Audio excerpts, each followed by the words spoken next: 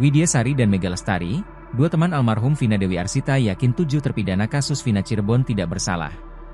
Karena itu, Widi dan Mega mau hadir sebagai saksi di sidang peninjauan kembali, PK, terpidana kasus Vina di Pengadilan Negeri Cirebon pada Rabu, 18 September 2024. Ditemui seusai sidang, Widi berharap kesaksiannya ini bisa menjadi bukti baru atau novum yang bisa membebaskan tujuh terpidana kasus Vina.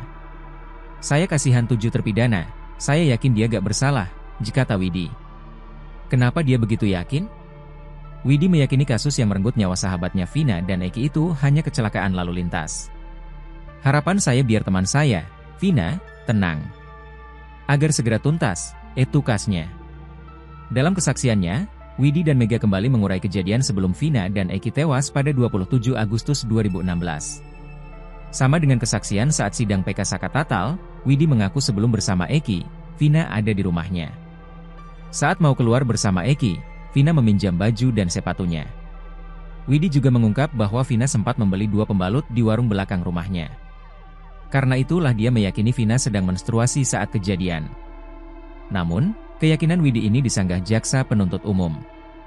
Widi dicecar jaksa soal pembalut yang dibeli Vina.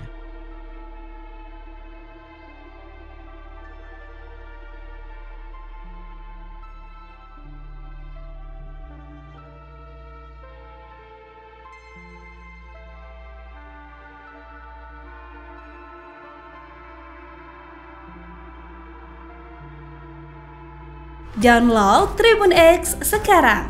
Menghadirkan lokal menjadi Indonesia.